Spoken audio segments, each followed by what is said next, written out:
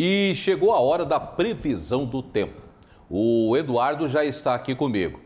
E claro que em clima de festa, nesse clima que Garopaba tem nesses últimos dias aí com a quermesse, todos nós queremos saber se até o fim da quermesse de Garopaba, ou seja, até domingo, nós teremos aí dias bons, Carlos Eduardo. Olá, Marcelo, boa noite para você. Boa noite para você que nos acompanha aqui no Pix News.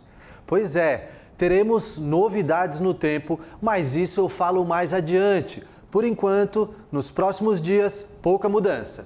Agora, quem está na Praça da Quermesse, lá curtindo os shows, agora está tá no show do One Breeze, se eu não me engano. A temperatura está em 19 graus. Esse ano não faz aquele friozão de costume. Essa noite ainda pode chegar aos 18.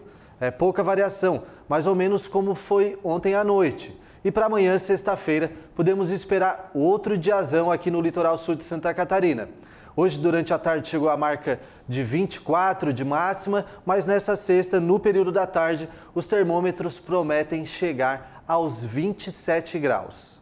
É, o veranico que não deu em maio, esse ano está vindo no mês de junho. Eu falo isso porque no sábado teremos outro dia daqueles. No sábado podemos chegar aos 30 graus de máxima. Eu vou pedir até para nossa equipe colocar aqui na, na nossa tela a imagem que a gente fez aqui, a arte que a gente fez para ilustrar. Então, como eu falei, amanhã na sexta-feira 18 de mínima. Essa, essa mínima é aquela de manhãzinha cedo ou à noite também, né? E 27 de máxima à tarde.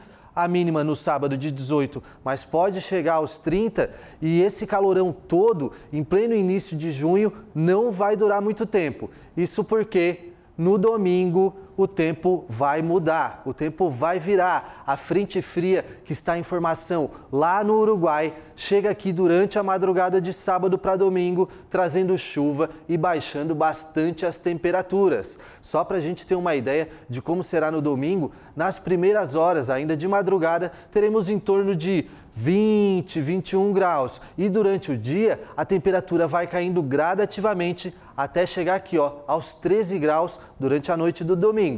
E assim, é, eu me apeguei nos dados mais aqui de, de Garopaba, que seria uma das maiores festas do sul do país. Mas essa virada no tempo vai afetar todos os estados do sul, lá no domingo, e chega também na região sudeste e centro-oeste tá? Por hoje são estas as informações. Acompanhe o Pix News, Pix News Diário, que logo a gente atualiza as informações do tempo para você.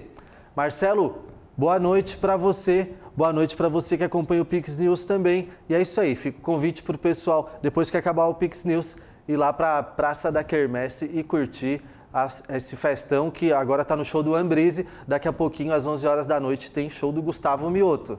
É, lembrando também, né, Carlos Eduardo, que a Pix TV está com stand também lá na Quermesse. Você que está aí aproveitando essa, essa festa, né, uma das melhores festas do sul do país, pode dar uma passadinha lá, tem muita promoção, tem muita coisa boa para você ver, né? Inclusive, quem sabe até já a partir de hoje começar a testar esse sistema que nós temos aqui na Pix TV, além do nosso famoso, né, que todo mundo assiste, já virou um costume na população assistir o Pix News. Confere lá. E também conosco está a TMW Telecom.